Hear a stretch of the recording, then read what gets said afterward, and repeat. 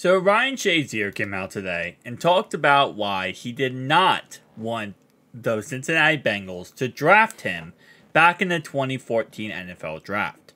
Back in 2014, the Pittsburgh Steelers took him at the 15th overall pick.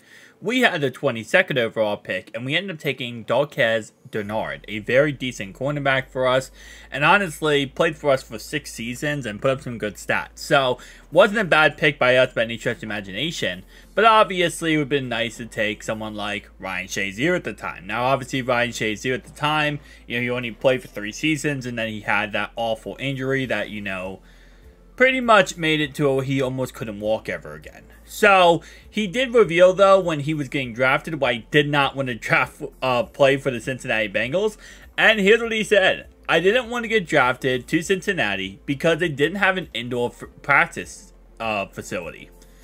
Um, Shazier said it gets cold in Cincinnati, well in Ohio, and they don't have an indoor practice facility. I used to practice in this all the time.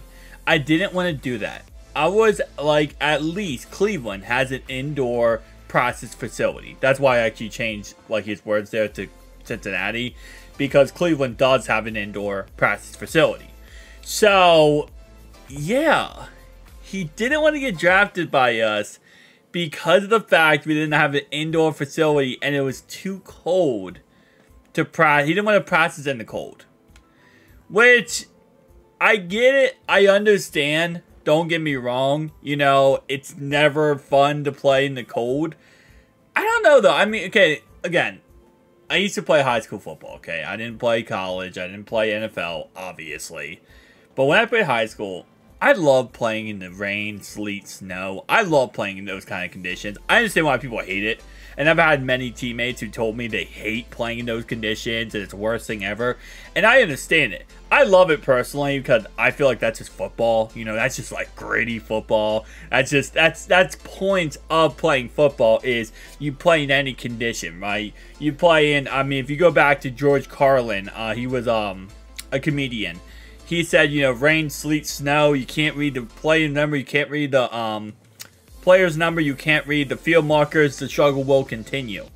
He's actually comparing baseball and football. And he says, in baseball, when it's rainy out, we don't play. Can't play, it's rainy out. But in football, you play in any condition. So that's why I love football. But I understand why some people are like, eh, I don't want to play in that conditions. Like, I don't want to press in those conditions. So I get it. I understand. But, you know, at the same time, again, we got a Darqueze Dennard in the end and it worked out for us. But as he says right here, I'm from Fort Lauderdale, which is Florida. So obviously very good sunny conditions.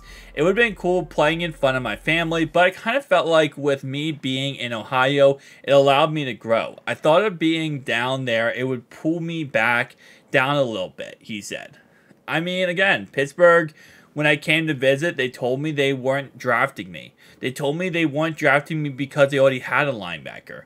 That's what the linebacker coach told me. He was like, We already have a linebacker. You're a great linebacker. I think you're going to do great. I think you're going to be a first rounder. I don't think we're going to draft you, Shazier said.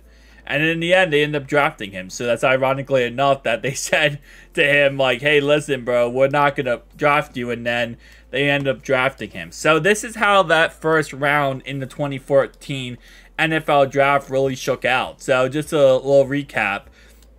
In case you forget about it, Jadeveon Clowney went year one, obviously. Year, I uh, sorry, pick one. I cannot speak to that. I said year one. Greg Robinson went year two. He played until 2019, so he only played five years, in all honesty. Uh, Blake Bortles only played five years too. Khalil Mack played still today. Uh, Jake Matthews is still in the NFL. Mike Evans is still. Justin uh, Gilbert, the Browns guy, only played two years. Uh, Anthony Barr played eight years. Um, Eric Ebron, wow, he was actually pretty good tight end. Taylor Lewan. OBJ, Aaron Donald, Kyle Fuller, um, Ryan Shazier. Again, he went pick 15, so it wasn't like we were, we were going to get him that early anyway.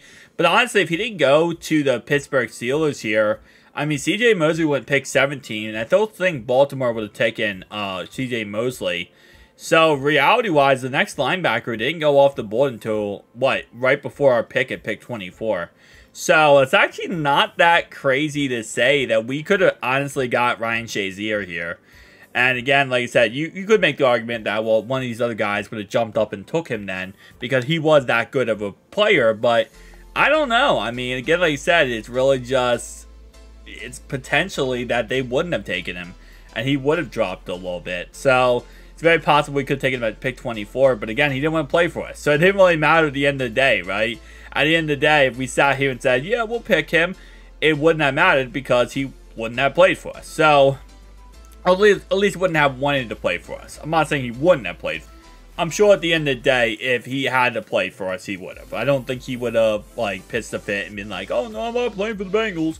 He's just saying he was hoping he didn't get drafted by the Bengals because of the cold weather. And again, if you're from Florida and you're, uh, you know, born in Florida and you grew up in Florida, it makes sense. I mean, cold weather is definitely never an easy thing to go through. And obviously, he, gets, he got drafted by Pittsburgh, which they have an indoor facility, but still, like, you know, it's a lot when it comes to, you know, playing in AFC North. You play in that rain, sleet, snow every single year. I mean, it's the worst conditions possible, right?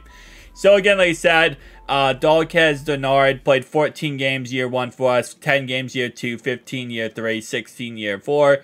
Uh, year five, 13, year six, he played nine games for us.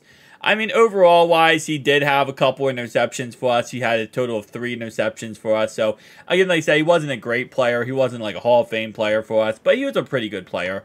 And overall, I think, you know, it is what it is at the end of the day, you know. We would have loved to have had, you know, a really great linebacker, Ryan Shazier, but we ended up getting Darqueze Dennard, and that's how things kind of fell for us, right? And it kind of sucks because Jason Verrett was the next pick, and he's actually ended up being really, really good. Same thing with Deone Bucannon. Uh, Jimmy Ward was really good. Bradley Roby was one of the best when he was with Denver for the time period. So it's again, like I said, it is what it is. Hindsight 2020 in the end of the day. Tell me down below your thoughts and opinions. And I'll see you guys next one. Peace out.